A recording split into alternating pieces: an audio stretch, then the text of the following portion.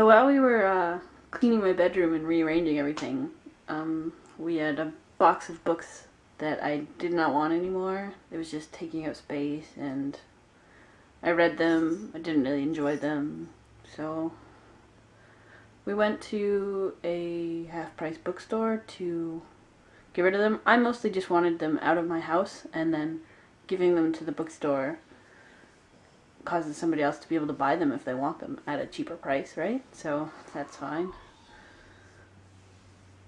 But um, I think a lot of people go there just to get money, but you get the most amount of money if you use it for store credit. like it was like twenty dollars and something for store credit versus ten dollars in cash, and uh, the lady at first didn't really seem nice because I think a lot of people bring a lot of books in in hopes to get a lot of cash when it doesn't work out that way. But I just really wanted them gone. And as I was browsing through the store because she needed time to go through the books, I found the most amazing thing in my entire life. I found the Boxcar Children.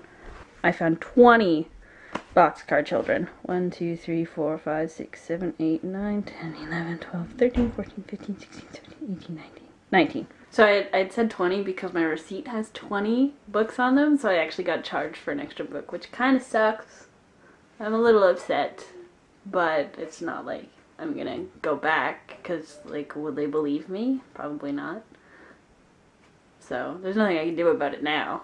The Boxcar Children is like my childhood. I remember reading these when I was a kid and just like all of them, growing up with them, and like this, it's variety numbers. I start at nine and I go up to 123 and all just random numbers of them. There's a lot of stories, but they're all mystery stories. What I really want to get now is number one, just the first few because that like starts it off, and I don't really need it now because all the books further on are just like their own separate mysteries. But it's I really like number one because it like sets them off of why they are the boxcar children. It's because they live in a boxcar, an old abandoned box boxcar, and that's just awesome. But yeah, as a kid, my favorite things like mysteries, so boxcar children, amazing. So it's pretty exciting that I just got these because I'd been talking to Sean about them a while ago. Actually, do you remember that? Yeah, you. Yeah. I can't I- remember what it was. I think we were at the library. we were at the library and we were looking, for them. them, and we found a comic book. Yeah, there was like a comic. And, like, that's not like, what I no, That's wanted. not what you want. But like this is amazing, and I'm really happy. Yeah, because you you were trading in a bunch of your old books. No, that's cool. I know I used to read. Not like I kind of recognize the Boxcar Children, but I don't know if I really read a lot of them. Clearly, it's not as much of a staple in my childhood as it was for you. Oh, it I know, but I, I used to read um, Encyclopedia Brown, which is another kind of like mystery thing for Yeah. kids. Mysteries were my all-time Yeah. favorite. What I really loved as a kid was choose your own adventure books, though. I know my dad had a bunch of really old, like, choose your own adventure books from like the 70s and 80s. And so I found those one one day and I like read through all of them. And I kind of cheated because I would like choose which path to go and I'd be like, um, oh, wait, my character gets killed. And I just go back and choose the other direction. Another another thing that was mine was um, Olsen and Olsen Mystery Agency. They had the TV show and they had books. Um, that was amazing. Like the Olsen twins? yeah, Olsen and Olsen. mystery thing? Yeah, Olsen and Olsen Mystery Agency will solve any crime by dinner time. And one time they didn't solve it by dinner time. It was like a two-parter. really? Yeah. The Olsen and Olsen Mystery Agency. Mystery Agency had a to be continued. Yeah. They they went back to their house because they had to come back. It was the one with the fun house. There was an there was a gorilla I in the fun house. Any of this? He was stuff. eating bananas and he was scaring people. But I want to find the first few. 1964.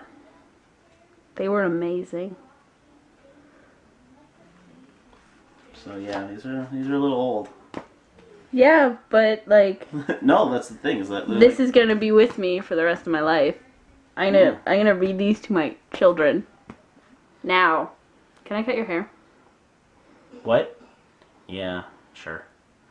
Yeah, I'm poor and I can't afford a haircut, so five. which is which is pretty sad. So I'm gonna get Lydia to cut my hair because I think she did a good job on her hair. So I trust her. Les Mis style. No, we're um. I don't want to look like Hugh Jackman Yeah, at the you start of do. Les Mis. Like, well, kind of. That'd be kind of cool. I do have this big scraggly beard. Or Anne Hathaway. Anne Hathaway. No, I don't want to look like Anne Hathaway. Why not? Maybe She's so pretty. that's true. You look pretty too. Maybe. Yeah, let's let's cut my hair off. Okay. I'm excited. I'm scared. Love you, Sean. Okay, make me look pretty. Yeah. Done. How short do you want it? um, about your length. Never going back now. We've begun. Are You scared? No, I trust you. Yeah. Mm-hmm. Really? Yes. Also, guys, don't pull off the girl style. Well, don't give me like a pixie cut, but just you know, short. But like, Like what? it's my only expertise, Sean. Is you only know how to give a pixie cut? Yeah. Am I gonna have a pixie cut? Yeah, maybe. Oh no. Yeah, no, what have you done, eh? Just make me look handsome, Lydia. I'm trying. Is that a difficult process to make me look super handsome? Nice ball spot. Sorry, I took it too far. That's crossing the line, Lydia. Crossing the line. Yeah? You know my bald spot is beautiful.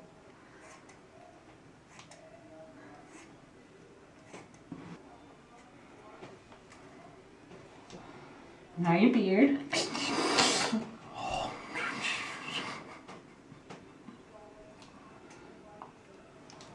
I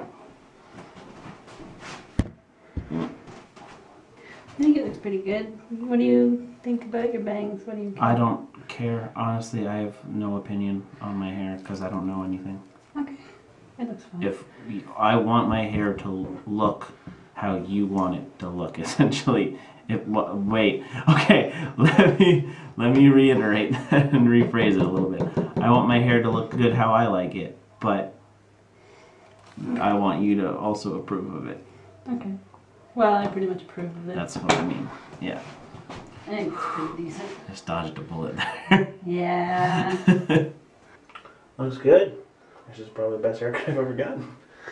Especially because it was free. yeah. I That's just have good. to just just on the neck. The neck. Well, my neck gets all. My neck. My neck gets as scraggly as my front. Yeah, well, I cut a line with the scissors. It's just Yeah. hard to No, it's good. get right on it. It's slightly Anne Hathaway esque, but yeah, I, I like that. I like that. Gotta love when I get the short hair. It makes the beard that much more scraggly. Mm, beard.